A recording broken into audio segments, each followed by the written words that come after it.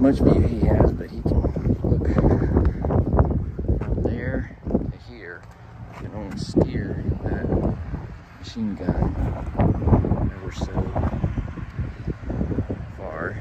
And these B-17s were flown along with planes such as the P-51 Mustang.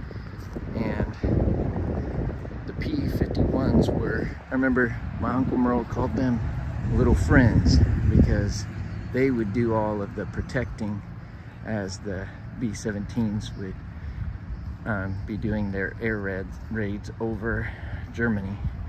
And my uncle Merle Wagner, you know, his name has a German connection, and I can't help but wonder every time he would, well, not every time, but when we would talk about the his time in as a gunner in the B-17, he would talk a lot about how he'd get emotional and just remember talking about those P-51s as the friends who helped make their flights happen. He was an awesome, awesome guy. But remember, he didn't didn't like war. He didn't like uh, that concept, but he, loved Jesus, and he was also a he was really, really loved his wife, Jean.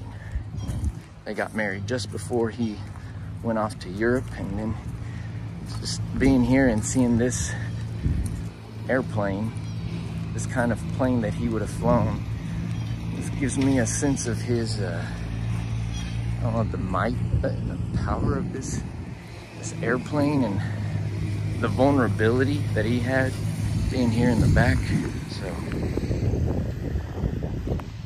these machine guns right there. And look, there's didn't have a lot of protection here. A lot of people went down. There's the B-17.